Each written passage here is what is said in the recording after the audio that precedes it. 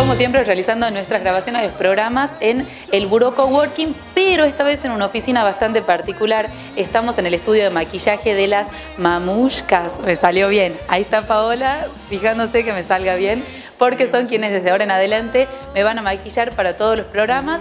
Y la ropa, como siempre, de Amelia Fonio, porque quiero diseño de autor. Muchísimas gracias. Un estilo impresionante hoy. Para salir de fiesta el fin de semana, allá me dan el ok con las chicas que les encanta salir de fiesta de doquier, nos subamos todas. Sí, sí, allá está Totó también. Dale, Totó, ya te vamos a hacer venir para acá. Bueno, eh, fin del programa, la última nota, yo aprendí a jugar al tenis, bueno, en realidad no aprendí, pasé papelones nada más, pero Martín Jaite, quien es el capitán de la Copa Davis, se encargó de tirarme un par de tips que, bueno, no funcionaron mucho. Muchas gracias a la gente del vestuario, como siempre, auspiciando los eventos deportivos. Fin del programa, nos vemos la semana que viene. Y bueno, nada, besitos.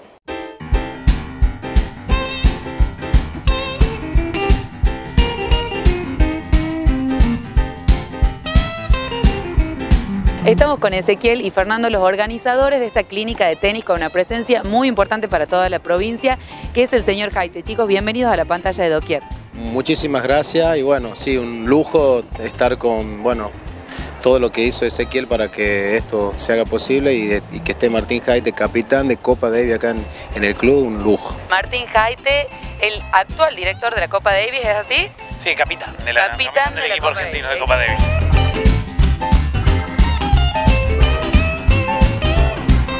¿Cómo fue que se llevó adelante la organización del evento?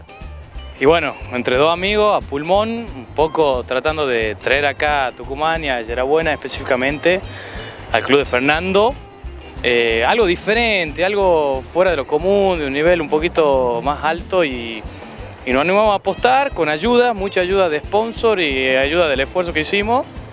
Y hoy estamos acá con el capitán de la Copa Davis peloteando un poco.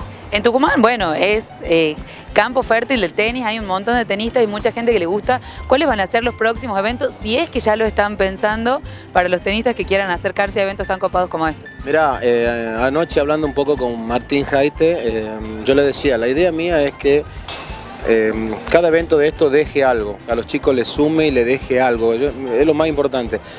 Una de las cosas que estamos pensando es en la capacitación a los profes que me parece muy interesante. Entonces es una alternativa que la tenemos que definir un poco con, Martín Jaite y bueno, ya lo, charlaremos con, con, Ezequiel a ver si apostamos también a eso.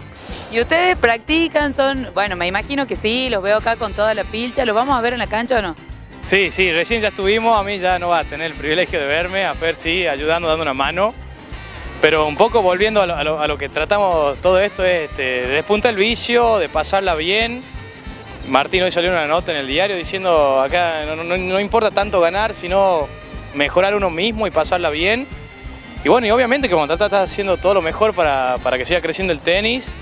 Y particularmente yo, o sea, lo veo, lo veo con muy buenos ojos todo lo que es Yerabuena y el desarrollo. Y en este momento Fernando pica en punta con lo que es su emprendimiento. Justo estábamos recién hablando con los chicos que organizaron el torneo y nos reíamos porque yo de tenis, mira, no sé absolutamente nada. Le digo, vamos a una clínica de tenis raquetas internadas, eh, nada, no sé. Martín, ¿qué es una clínica de tenis para los televidentes de Doquier? Eh, sí, no, es una, no, es una, clínica de internación en realidad. Es este, la, idea de una clínica de tenis es tratar de pasarla bien, jugar un poco con, los chicos, no importa el nivel que tenga cada uno. Eh, no, es un, no es un lugar de detección de talentos. y es más, más que nada divertirse y acercar a los chicos y a la gente grande también al deporte. Bueno, ya estamos comenzando. Eh, además de esto, ¿Cuál fue el nivel o qué pudiste observar de los chicos que están jugando al tenis en Tucumán? Muy bien, vinieron chicos de diferentes niveles, ahora nos falta un grupo más, pero hay chicos que tienen, digamos, buena, buena motricidad. Es muy difícil en, poco tiempo, digamos, darse cuenta porque cada uno estuvo una hora en la cancha.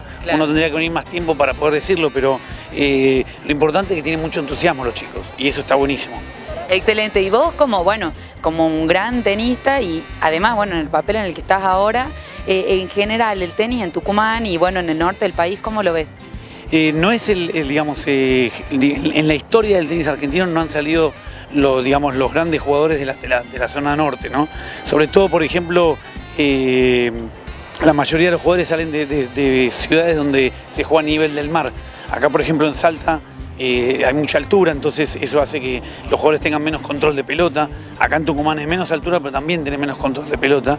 Eh, pero lo más importante es que digamos, toda la zona no hace, se mueve, hay torneos juveniles, hay torneos de chicos y en algún momento van a salir grandes jugadores, supongo.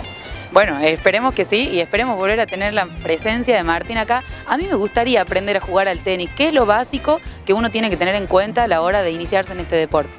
Primero, con esos, zapatos no puedes jugar. Tienes que agarrar una zapatilla de tenis, eh, tienes que hacer unas zapatillas buenas, una raqueta de tenis y tenés que entrar a la cancha.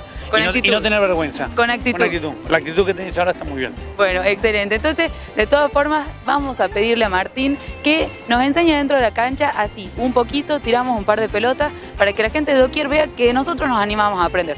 Dale, dale. Ahora cuando empecemos a entrar en la cancha, yo te tiro dos pelotas. Si en una no le pegás, te echo de la cancha.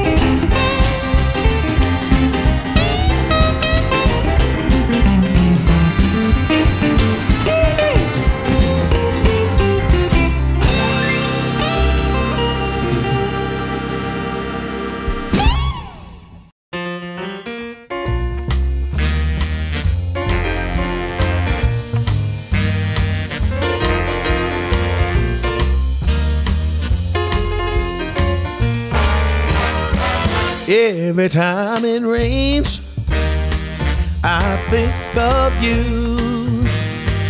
And that's the time I feel so blue.